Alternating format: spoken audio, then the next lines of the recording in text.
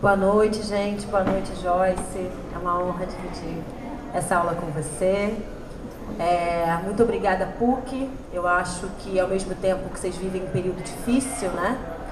De discussão de racismo e de branquitude, de privilégio, mas também é um momento que vocês se colocam na guerra contra o fascismo, contra o racismo. Isso é muito importante saudar sempre. É, acho que a gente pode começar para além da gente lançar uma perspectiva de como a gente chegou a tal ponto, né? traçar, na verdade, como essa história racista se consolidou no Brasil. E pensar quais são os reflexos de fato desse racismo. Porque às vezes a gente faz uma leitura muito rasa sobre a perspectiva racista que a gente vive e consolida. A gente coloca o racismo numa lógica do preconceito, ou na lógica do bullying, ou uma, uma, uma lógica menor de importância do que, de, do que ele deveria ter. Acho também que se a gente não tem uma leitura clara do processo histórico e das mudanças, das nuances, das faces, das várias faces desse racismo, a gente não consegue entender esse reflexo, principalmente para nós arquitetos urbanistas e planejadores, como é que isso se estende, se alastra necessariamente no território. Isso tem rebate no território. E como, na verdade, a gente tem uma cultura muito eurocêntrica, branca e marxista, quando marxista, é, é importante também ter em perspectiva que grande parte do nosso arcabouço teórico conceitual vem de um lastro e de uma cultura capitalista liberalizante do território, quando é marxista, porque não é todo planejador urbano, todo teórico do urbanismo que a gente tem que tem esse, a gente sabe que tem essa perspectiva, a gente foca muito na lógica da estruturação das desigualdades. E num país como o Brasil, é preciso aprofundar as desigualdades. Entender que, necessariamente, num país com capitalismo escravagista, nesse capitalismo de baixíssimo alcance que a gente tem, porque é um, um capital, um capitalismo que não permite, por exemplo, nenhuma possibilidade de pactuação de bem-estar social, por exemplo. A gente precisa, inclusive, classificar, qualificar o capitalismo que nos coube aqui nos trópicos, no caso do Brasil, é essencialmente escravagista essa lógica de construir esse próprio capitalismo. Aí eu vou falando para você para passar. É, e se a gente começa a entender que, na verdade, essa desigualdade e essa lógica racializada de pensar o território parte do preceito de dividir os que possuem bens ou detêm bens e os que não possuem bens, a gente pensa automaticamente numa lógica segregadora, segregacionista desse território. Então, existem determinados territórios que são possíveis de ser ocupados e possíveis de estar, e existem determinados territórios que não cabem àqueles que não detêm. A lógica capital burguesa nem detém os meios de produção. Se a gente divide necessariamente em duas categorias, a gente percebe que os que não detêm os meios de produção têm uma determinada cor uma determinada origem. E a gente começa a entender a cor desses estoques, desses lugares, desses territórios, que de fato estão do lado daqueles que não detêm esses meios de produção. Pode passar. E aí, se a gente vai mais a fundo nessa construção, nessa perspectiva desse território estrito e restrito, ao que eu posso estar, e se a gente usa uma determinação de gueto, se a gente começa a perceber que o processo de guetificação tem um motivo que está diretamente ligado ao desenvolvimento capitalista desse lugar, desse território, a gente começa a perceber que não necessariamente é, e único exclusivamente a gente tem o fator classe nessa equação. A gente precisa entender que parte, talvez grande parte, num capitalismo escravagista, onde a gente tem um estoque de mão de obra, um estoque de uma classe trabalhadora que tem uma cor específica, ela é extirpada do pensamento de cidade e de urbanidade, e aí colocada em grande escala nas zonas cinzentas dessas cidades, e aí depois a gente vai começar a entender que zonas cinzentas eu estou falando, a gente começa a entender que a gente precisa aprofundar e fazer uma imersão no processo de construção ou desconstrução das nossas cidades. Porque se de um lado a gente parte de um processo muito bem planejado de projetar as cidades brasileiras para uma elite, e aí eu estou falando desde Brasil Colônia, as ruas direitas não foram pensadas para os negros. Se a gente pensa no planejamento das nossas cidades desde as ruas direitas até hoje, sabemos que a ausência de planejamento, a ausência de política pública e a ausência de projeto foi para uma determinada categoria da população. Pode passar. E aí, se a gente pensa que, na verdade, esses guetos, eles alastram e fazem a gente perceber que existe uma intensificação dessa natureza exclusivista de pensar os territórios, onde, por exemplo, um bairro como a Gávea, ele é pensado com uma determinada caixa de armamento, uma determinada calçada, um determinado tamanho de lote, mas concretamente essa cidade pensada e estruturada, ela não insere quem objetivamente não consegue comprar ou estar naquela cidade. E aí a gente para para pensar, onde estão aqueles que não compram essa cidade? Que não conseguem adquirir essa cidade dita formal? Que a gente também precisa começar a desvelar alguns mitos. E um desses mitos é a gente pensar esse binarismo entre cidade formal e cidade informal. A cidade é toda informal.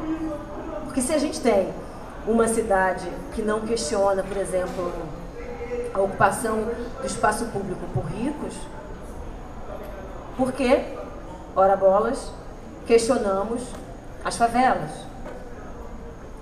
Porque a sociedade se acostumou a questionar é, os espaços favelados e se acomodou a não questionar, por exemplo, os condomínios da Barra da Tijuca, que em grande maioria estão em área de especial interesse ambiental.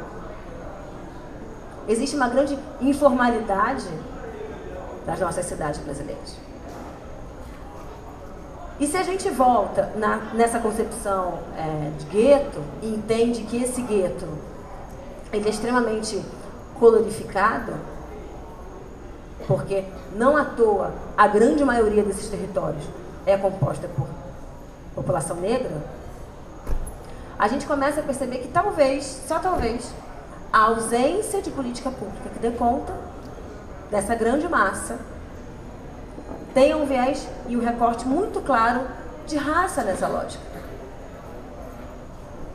Porque se brancos fossem, se brancos fossem, assim como em determinado momento existiu uma grande, uma grande classe trabalhadora pobre no Brasil, por exemplo, os imigrantes, os japoneses, os árabes, que viveram em guetos durante muito tempo assim que vieram ao Brasil, mas que tiveram acesso e garantia de várias políticas públicas para saírem da lógica de beatificação que foram obrigados a, a, a estar, por conta da condição de classe. Mas por necessariamente serem brancos, tiveram acesso a políticas públicas automáticas de reparação. E aí quando a gente fala. Pode passar.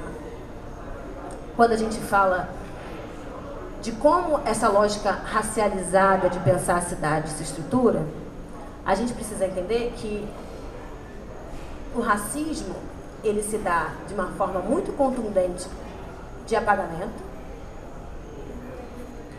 e se dá é, no, entendimento e num subtexto, num léxico, numa imagem projetada que é constantemente construída e que não necessariamente ela está concretamente colocada na sociedade.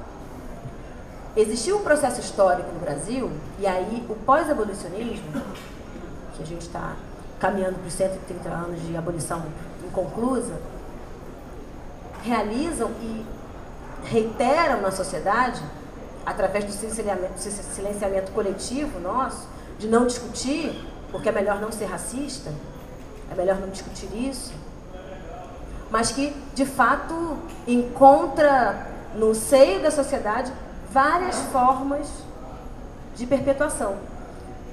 Uma forma clássica do racismo é o não falar, é o não dizer.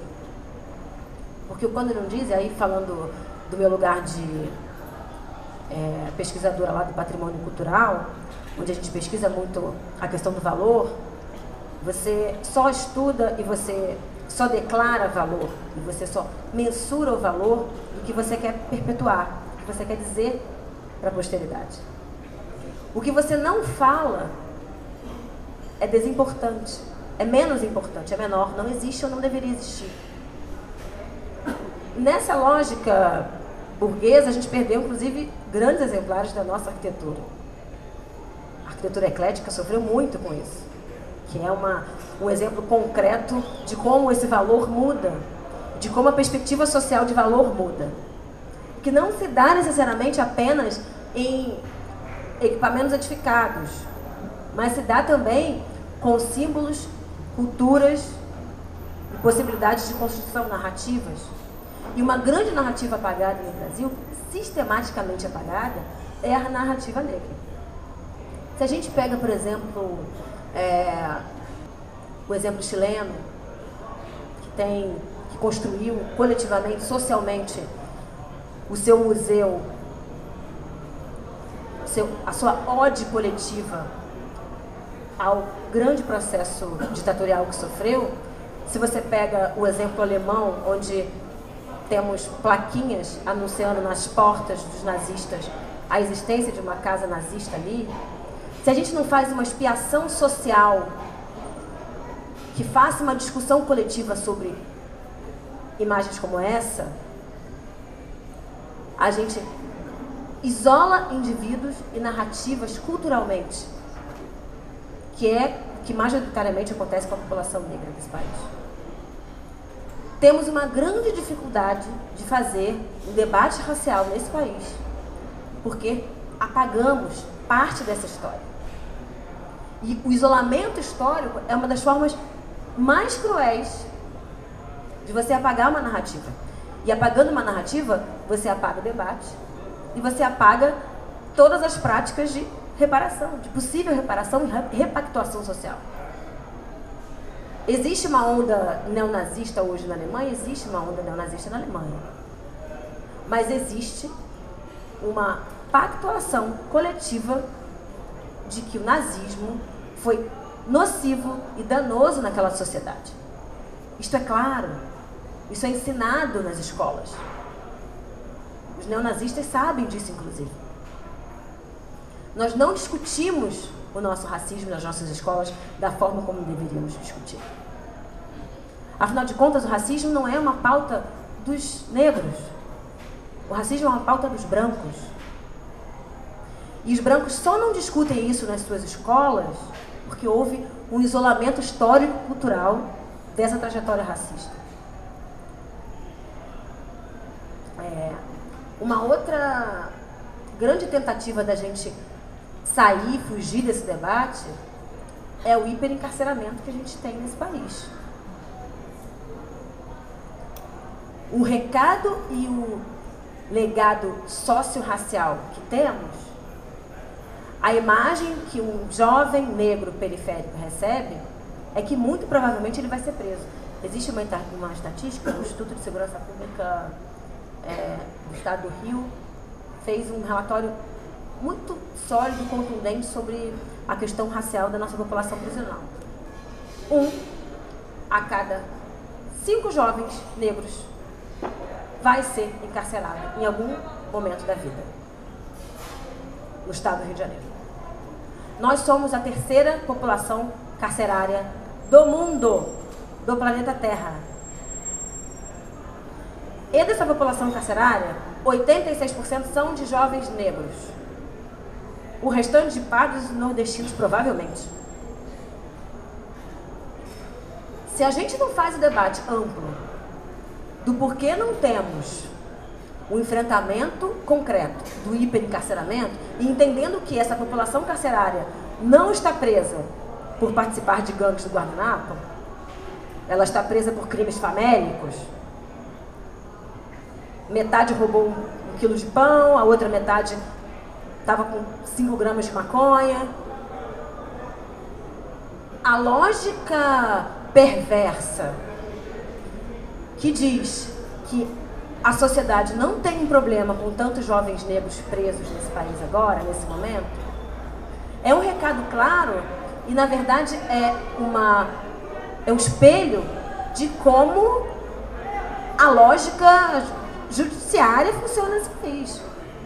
A gente precisa também fazer uma reflexão, e aí eu acho que a PUC está fazendo muito esse dever de casa, é como uma elite escravagista que ganhou títulos de nobreza desde 1808 até hoje se perpetuou numa casta do judiciário até hoje uma elite branca, misógina, burguesa e incapaz de fazer reflexão sobre seu próprio país. Por uma lógica de privilégios excludentes se perpetua no poder e temos os mesmos sobrenomes figurando nas paredes do Tribunal de Justiça até hoje. As mesmas famílias do interior do nosso Fluminense do Estado, um estado, um dos estados mais escravocratas que já se já possivelmente existiu nesse país, porque o Rio de Janeiro, o Rio de Janeiro foi estado que por último, por último, soltou negros nesse país. A gente precisa também falar sobre isso. Tínhamos uma discussão de República Velha colocada e tínhamos escravos. Em Resende, por exemplo. Estou falando de 1832. 40 anos depois, praticamente, da abolição da escravatura.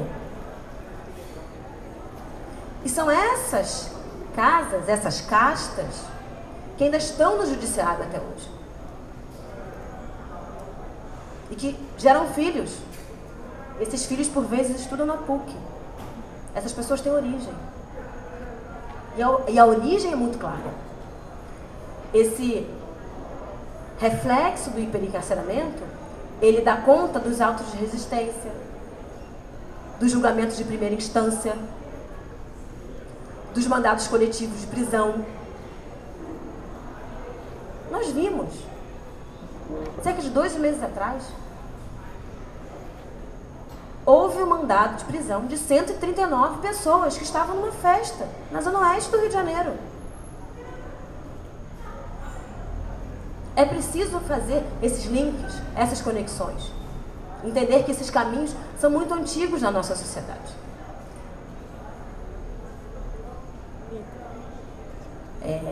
É, preciso entender também, e fazer o link com a lógica do gueto, que esse isolamento urbano, e é muito cruel a nossa lógica de mobilidade, nessa lógica de centro-periferia que a gente tem, a gente tem basicamente um centro expandido, né? Zona Sul, Centro, Zona Norte, com os postos de trabalho, os principais postos de trabalho do Rio de Janeiro. E a gente tem uma rede periférica da região metropolitana servindo, servindo de satélite, de lugar dormitório para uma grande massa trabalhadora. E agora, nem com tanta força, porque desempregados vários estão. Mas a gente tem algumas conexões, alguns navios negreiros contemporâneos. O trem o metrô são os grandes marcadores aí desse processo de conexão entre polos. E aí você começa também a refletir do porquê que não tem muito interesse em se qualificar esse transporte de massa. Porque esse transporte de massa não está transportando quem importa na cidade. A rede ferroviária do Rio de Janeiro, é, em funcionamento, é de, 1800, é de 1906. A última manutenção da linha 1 data da década de 60. O que se vem fazendo é pura perfumaria. De fato. O fato é que ainda existe acidente pra caramba. Inclusive existem coletivos, olha que absurdo, de vítimas de acidentes de trem. Em 2018. Onde a gente já devia estar discutindo letreiro eletrônico nas estações, devíamos estar discutindo conexões intermodais. A gente está muito longe disso, a gente está pedindo para pessoas não matem esses corpos nas passagens de nível da Baixada Fluminense. A discussão é essa em Nova Iguaçu. Então, a gente também tem um atraso na discussão de urbanidade, de urbanismo, porque a gente tem um atraso na discussão da estrutura excludente e racial do, do país. A gente inverte um pouco, estamos muito atrasados nessa discussão. É, a outra questão, que está diretamente ligada a essa desimportância, e aí fechar um pouco, que essa desimportância, e aí pegando um pouco um filósofo que a gente usa muito lá no movimento negro, Franz Fanon, que a gente está distribuído em duas categorias basicamente a do ser e a do não ser. Durante muito tempo, e aí a gente precisa também fazer uma leitura até da historicidade dessa lógica racista, a gente se acostumava a falar o termo mulata, mulata, mulata.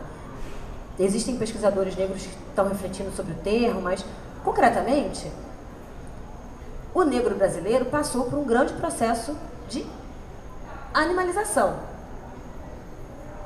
éramos animais. As crianças eram dadas para, serviço doméstico, para servirem de brinquedo. A foto que eu trouxe resgata um pouco isso. As mulheres, as mais bonitas, eram colocadas para serviço sexual, trabalho doméstico. Éramos escolhidos por dentes. Enfim, uma, um processo de animalização que parte do pressuposto de que não somos pessoas. E aí, mesmo quando existe uma transformação de, de determinados termos, aí é, tem até um artigo sobre isso, que o termo mulata vem da lógica da mula, da mulher mestiça que é de, uma, de um cruzamento, e que, em determinado momento, ela vira um objeto de desejo tipo exportação. E a gente sai da animalização para a objetificação com a maior facilidade. É, que ainda está na categoria do não ser. E essa desimportância social é que necessariamente constrói a inexistência de política pública, por exemplo, porque necessariamente não existimos.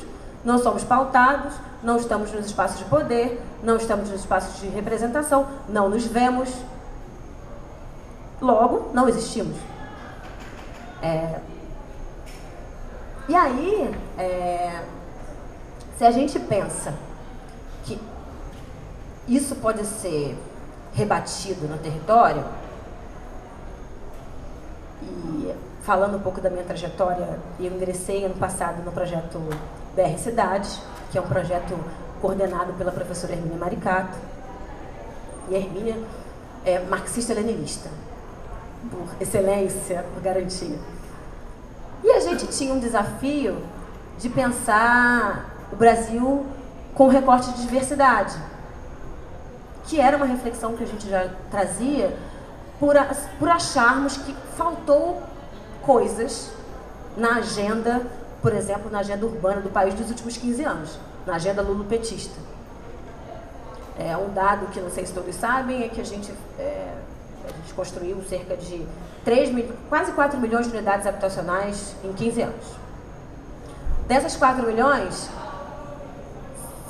cerca de, cerca de 70%, apesar da lei favorecer o registro é, jurídico fundiário para mulheres, quase 70% foram a registro com o nome de homens.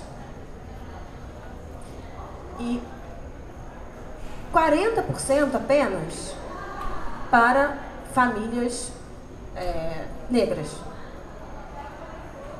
Então a gente necessariamente deu conta de uma classe média baixa, mas uma classe média que não estava na linha da miséria que a gente deveria ter atingido. Isso é um ponto. O outro ponto é que dos é, quase 300 mil títulos de propriedade que a gente conseguiu emitir no Brasil, que é um dado baixíssimo, é ridículo, a atuação da regulação fundiária se a gente colocar nacionalmente, né, nesse tempo todo, dos 300, apenas 30 mil para mulher e mulher negra, se a gente coloca os dois dados juntos. Onde demos um baile, eu não digo é, lá muito satisfeita, porque eu acho que ainda falta muito pouco, foram, obviamente, as cotas de inserção social, onde a gente mudou, em determinados cursos, a cor desses estudantes. Isso foi um dado concreto de transformação do extrato racial desse país. É, não à toa vocês estão tendo aula com uma mestre em urbanismo que é negra e que é favelada. Então, existe alguma coisa acontecendo, mas esse barulho ainda é muito pouco. É, nessa perspectiva desse projeto, a gente, claro, e aí pegando os dados de desigualdade, comparando censo de 90, que é 92, né? 2000 2010, a gente viu um crescente aumento de renda, de renda inclusive da população negra e periférica. Nós saímos da miséria extrema e saímos para a pobreza. Vocês podem achar, gente, mas ela está feliz porque viramos pobres, eu estou feliz porque viramos pobres. Zero a três salários mínimos é muita coisa para quem estava no zero. Isso é difícil de entender num, numa perspectiva pontual, mas no longo prazo efetivamente, concretamente, a próxima geração estará alimentada e terá acesso à cartela educacional do país, porque uma coisa está diretamente ligada à outra. Mas, concretamente, nós não mudamos a estratificação socio-racial do país. A elite continua branca, a pobreza continua negra.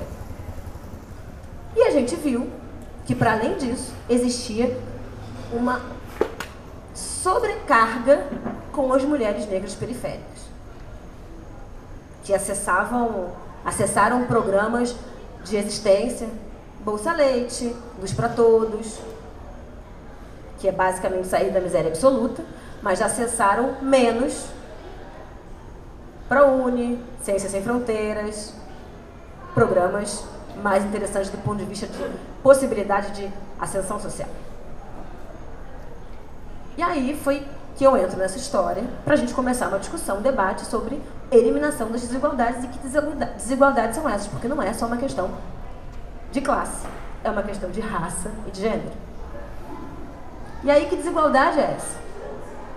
E eu queria que vocês me dessem controle de tempo, vocês não estão me controlando em nada.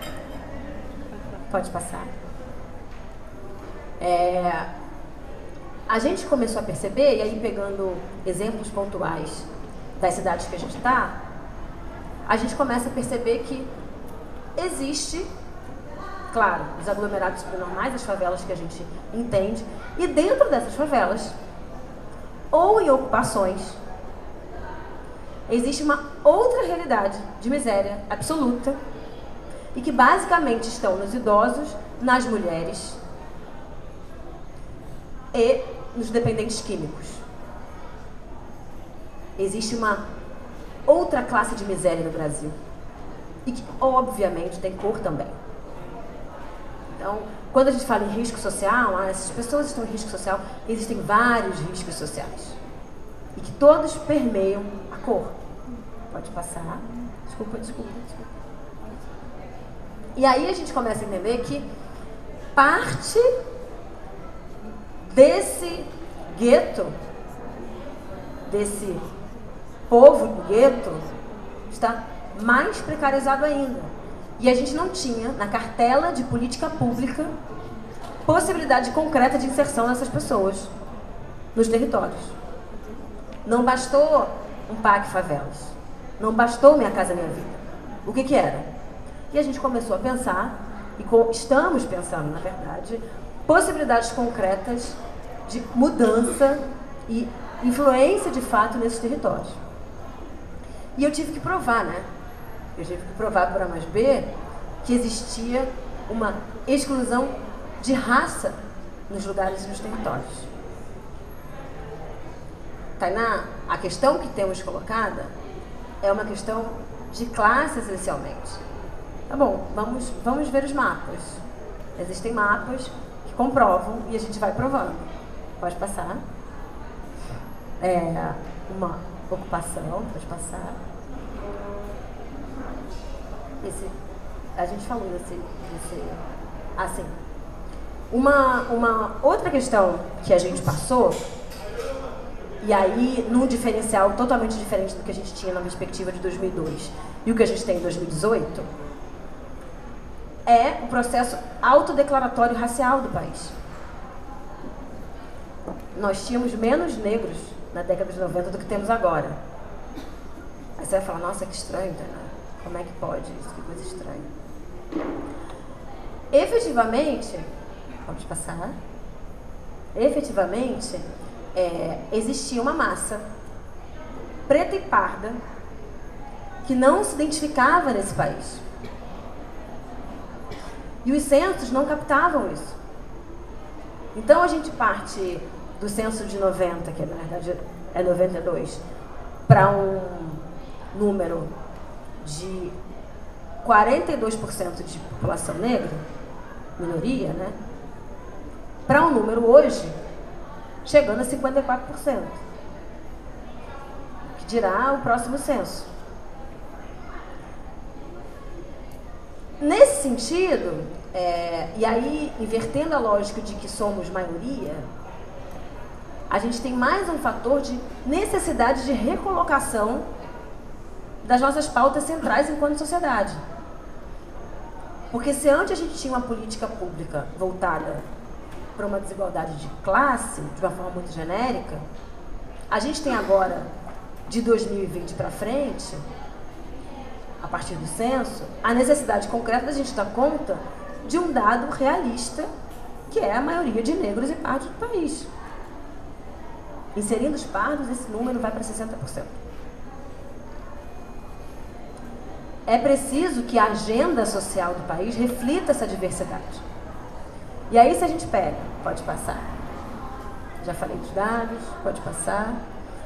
E aí, se a gente pega, na verdade, como hipótese, que provavelmente as ações afirmativas, uma escolarização no ensino fundamental, que inclui o ensino das culturas de matriz africanas, os caminhos identitários que a gente teve nos últimos dez anos são, foram fundamentais para essa autodeclaração, a gente começa a entender que também existe um caminho essencialmente negro a ser construído e pensado por nós, por essa população que agora se vê como maioria e como possível futura narrativa do país, que até então era tão branco. E nas favelas, curiosamente, é, a gente percebe que essa, esse, essa mudança do perfil de identidade socio-racial e sociocultural mudando, a gente vê a mudança concreta nas declarações do censo. Em favelas onde quase metade não se autodeclarava, a gente chega a quase completude da população se autodeclarando negra. E aí, mais um motivo para a gente fazer uma reflexão racializada desses territórios. Pode passar. É, não vou me alongar nos dados do negros, dos negros, mas sabendo, volta lá para a bola, mas sabendo que muito provavelmente essa curva da presença é, negra vai aumentar por conta desse processo de autodeclaração que a gente trouxe. Pode passar. E aí, o trabalho que a gente foi refazer, que é o meu xodó, é, o Hugo é um cara que é um, um negro maravilhoso, nerd em ArcGIS, que trabalhou comigo nessa, nessa construção. E ele fez uma coisa com os dados já é, do censo de 2010. A gente está pensando em, em, fazer já com a PNAD de 2016, mas eu inventei de ser pré-candidato, então eu parei minha vida acadêmica. Eu juro que em 2000, 8 de outubro eu volto para a pesquisa. Mas o dado concreto que a gente tem é o seguinte: o município do Rio de Janeiro, o vermelho são os pretos. Depois, na próxima legenda, a gente vai ver onde estão os pardos. Aí, basicamente, a gente tem, Joyce, aqui a gente está na Zona Sul, tá? Isso aqui é toda a nossa Zona Norte.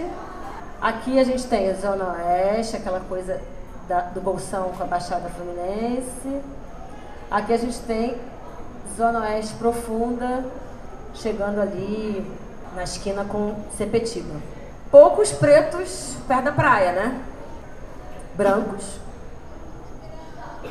E aí a gente vê que existe uma massa branca espalhada, né? Existe uma diversidade do ponto de vista de ocupação territorial dos brancos na cidade do Rio de Janeiro. Desculpa, pode passar. E aí eu fiz um recorte que eu acho muito maravilhoso para vocês. Onde estão os negros daqui da, da, da vizinhança. Lagoa Rodrigo de Freitas, vocês conseguem, né? Perceber o coraçãozinho. O coração era melhor, a gente foi ocupando a lagoa, infelizmente. Não tem negro na lagoa, né? Alguém já cantou ali onde estão os negros da, lagoa, da, da, da região. Estão na Cruzada São Sebastião, estão na ladeira dos Tabajaras, estão no Pavão Pavãozinho, e aí a minha chefe, coordenadora, Hermínia Maricato, falou, é, Tainá, a gente tem que falar sobre raça. Vamos lá, próximo. E aí a gente pega, estudando a renda, né? Tentando fazer um comparativo de renda, pegando alguns bolsões de riqueza espalhados no território. A gente tem Princesinha do Meia, Princesinha de Irajá, a gente tem Grajaú, a gente tem a Ilha do Governador, mas assim, concretamente, estão na Zona Sul. Então, esses brancos e esses negros têm renda também, né? Se a gente for sobrepor um dado com o outro. Pode passar. E aí, se a gente for tentar aumentar o nosso espectro aí para a região metropolitana, é, a gente começa a perceber que os processos, o processo de elitização é branco e o processo de transformação de uma classe trabalhadora precarizada uma terceirização quase escravagista é maior nessa população negra e periférica, né? Se a gente soma um dado com outro. Pode passar? E aí, gente, é, pensando concretamente que as, o desenho das nossas cidades está projetado numa lógica desumana e racista de pensar esse território, nós, enquanto arquitetos urbanistas, a gente tem muito a refletir na forma como a gente pensa o território. E enfrentar concretamente que a gente não está falando de classe social. Os brancos de classe média e os brancos pobres, eles estão ascendendo, historicamente ascendendo. E tem uma cartela de programas de reparação social dessa pobreza muito bem estabelecidos. E aí o desafio que a gente tem é quando vamos enfrentar as questões raciais desse país. Foi por isso que eu queria trazer.